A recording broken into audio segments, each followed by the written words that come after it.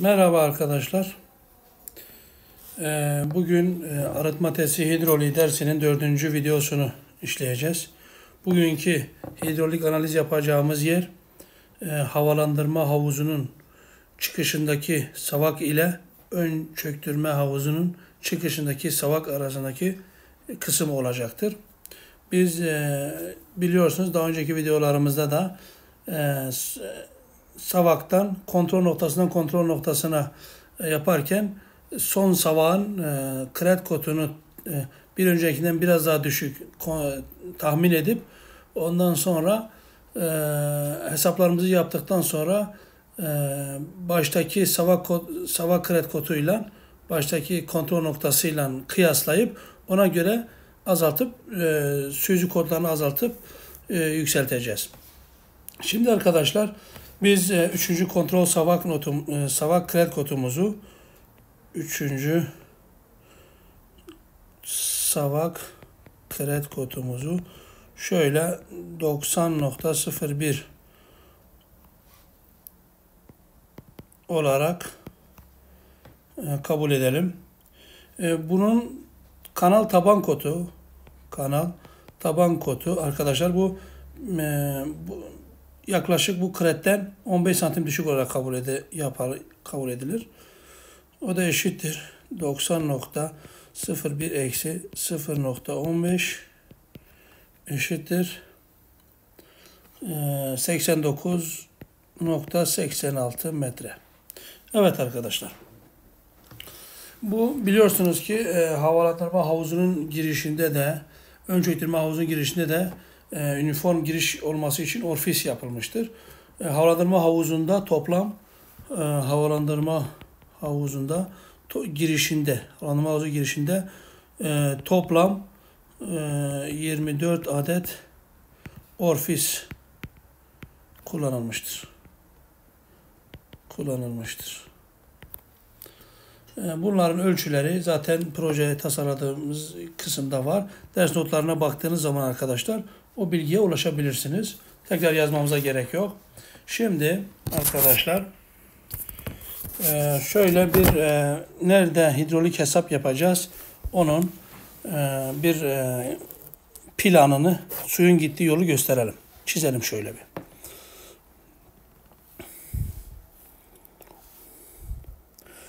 Şöyle çizelim arkadaşlar.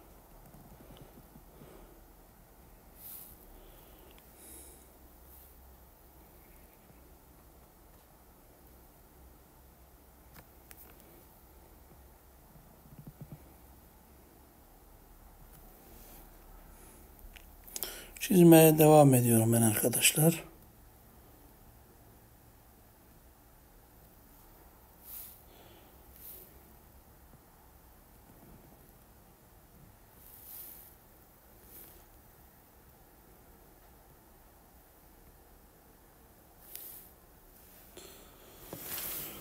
Şöyle çizelim.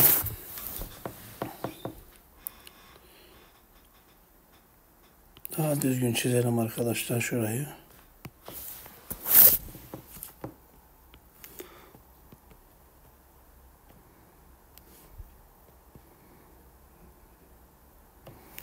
Evet.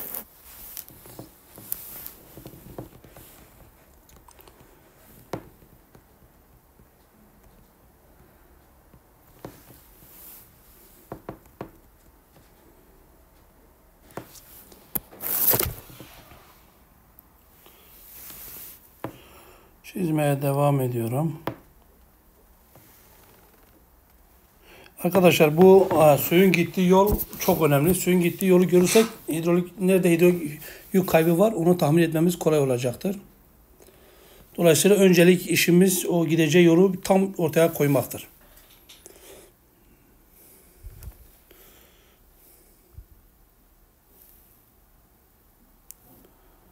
Şöyle.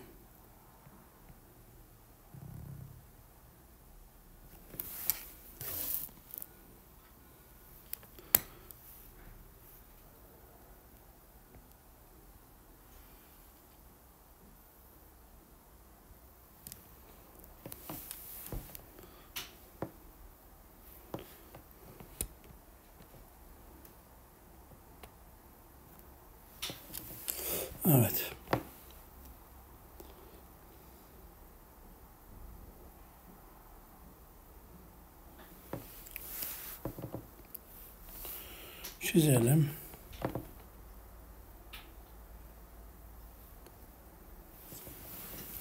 Bir tane de şöyle çizelim. Evet.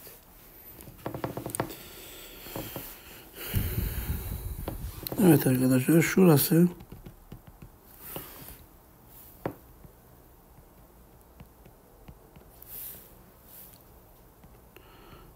kapaklarımız.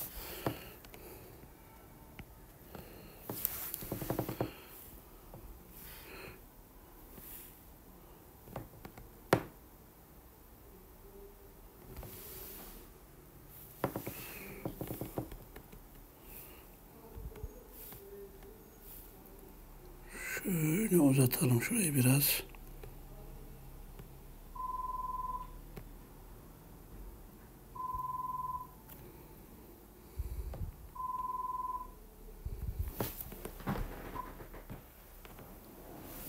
Şurayı uzatalım. Evet.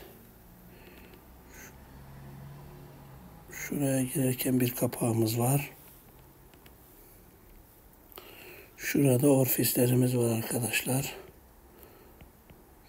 Ben kabaca çiziyorum orfisleri. Toplam 24 tane 4 havuzumuz var arkadaşlar. 24 tane. Ee, 4'e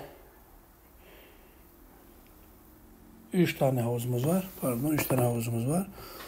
Ee, 3'e bölürsek her bir havuzda 8 tane olmak üzere. Orfislerimiz.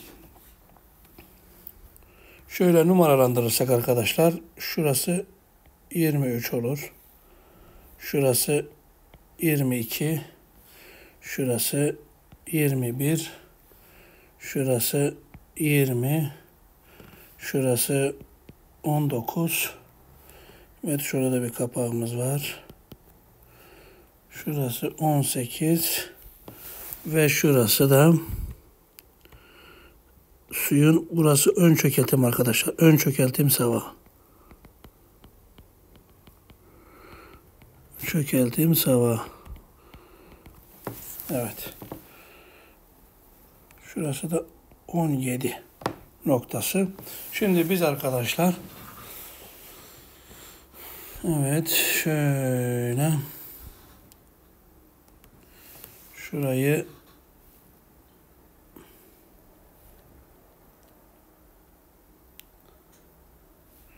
Şurası da geri devir. Şurası geri devir arkadaşlar. Geri devirin. Dağıtım yapısı. Yani suyumuz şöyle şuradan içeri giriyor. Geri devir de şuradan sisteme dahil oluyor. Öyle havuzlarımızı çizelim.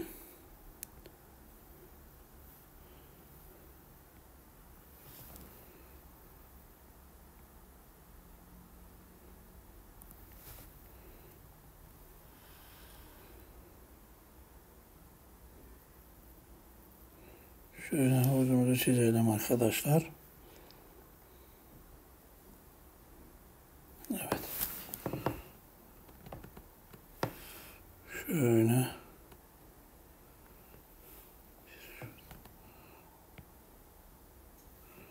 Şunu silelim.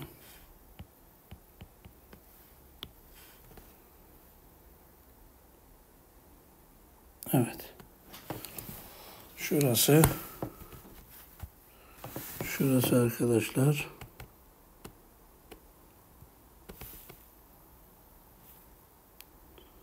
Şurası da bizim üçüncü kontrol noktamız. Üçüncü kontrol noktası. Su buradan savaklanıp kanala düşecek. Buradan e, her bir havuzun sonunda alttan borularla sistemi e, son çökeltim havuzuna girecek arkadaşlar. Şöyle. Evet şimdi 23 dedik oraya. Şurasına hemen sabah öncesi 24. 25 boruya girdiği yer 26 olarak. Evet arkadaşlar. Şimdi suyumuzun yolu belli. Şöyle e, ne yapacak? Şu şöyle gelecek. Şöyle. Evet arkadaşlar şuradan sistemlere girecek. Havuzlara girecek. Sonra savaklanacak ve bu borulara girecek. Evet yolumuz belli arkadaşlar. Şimdi hidrolik hesabı yapmaya başlayalım. Tabi öncelikle Orfis hesabı yapmamız gerekir. Orfis'teki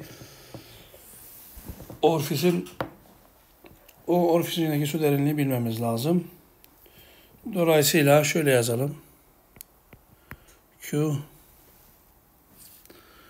şunu şöyle Q Orfis biliyorsunuz ki arkadaşlar gelen toplam debi 0.705 metreküp saniye toplam 24 adet 24 adet orfis var. Dolayısıyla bir tane orfisin debisi 0.0 294 294 olarak bulunur. Formülde kullanacağımız bir CD katsayısı var. O da 0.61 arkadaşlar. Şimdi şöyle bir denklemimiz var. Q orifis eşittir arkadaşlar. CD çarpı A çarpı 2G çarpı delta H üzeri 1 bölü 2. Burada gerekli verileri yerine koyduğumuz zaman arkadaşlar şöyle yapalım. 0.0294 eşittir. CD 0.61 Orfis alanımız e, e, ebatları verilmiş. Siz çarparsanız şunu bulacaksınız. 0.0 46 45 metrekare çarpı 2G çarpı delta H'ın üzeri 1 bölü 2. Buradan arkadaşlar delta H eşittir 0.053 metre çıkar. Evet, ofisler arasında e, ofislerin içinde olduğu kanalın genişliği arkadaşlar. Yani şurası, yani şu kanal arkadaşlar 1.22 metre. B eşittir 1.22 metre arkadaşlar. Şimdi ofislerin uzun bir hesabı var ona gir, girsek e, dersin e, çok uzamasından korktuğum için şimdi e, kısa sadece e, şöyle bir kısa yol e, yapacağız e, arkadaşlar. E,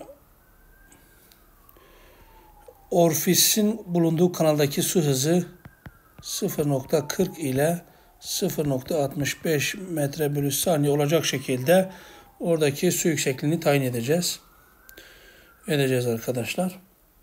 Ee, şimdi şurada çeklete geri geri gelelim.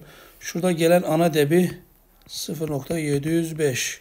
Evet arkadaşlar yukarı kanala şu 21 nolu kanala 21 nolu numaranın bulunduğu kanala yarısı girer yarısı da aşağı gider arkadaşlar. Dolayısıyla yani orfislerin bulunduğu yerdeki debimiz toplam debinin yarısı.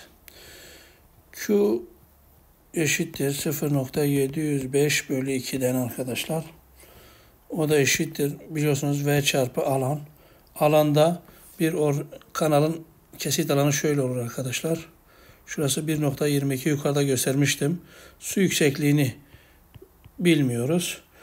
Ee, şu h'ı bilmiyoruz. Şu hızı bu arada şu 0.40 ile 0.65 arasında tutarsak bulduğumuz yükseklik kabul edeceğiz. Eşi, e, V çarpı biz şimdilik şu yüksekliği 0.45 santim kabul edelim. Ee, kabul edelim arkadaşlar. 1.22 çarpı bakalım hızımız kaç çıkacak. Buradan hız arkadaşlar 0.64 metre bölü saniye çıkıyor. İstenilen aralıkta olduğu için bir sıkıntı yoktur arkadaşlar. Evet, dağıtım kanalının yani şu H arkadaşlar 0.45 olarak bulduk. Geri devir kanalı için yapalım bunu. Geri devir kanalı için yapalım. Evet arkadaşlar. Ee, orada geri devir debisi ana debinin %55'i kadar olduğu belirtilmiş projede.